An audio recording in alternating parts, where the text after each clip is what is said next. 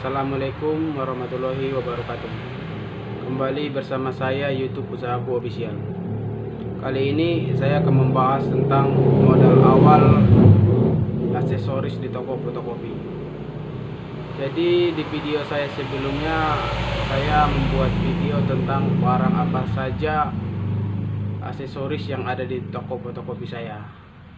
Jadi kalau dihitung-hitung modal sekitaran 2 juta sampai 3 juta.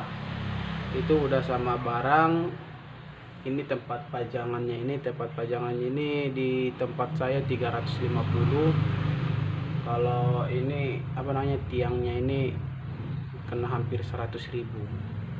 Jadi kalau untuk yang mau buka modal 2 juta atau 3 juta mungkin udah cukup.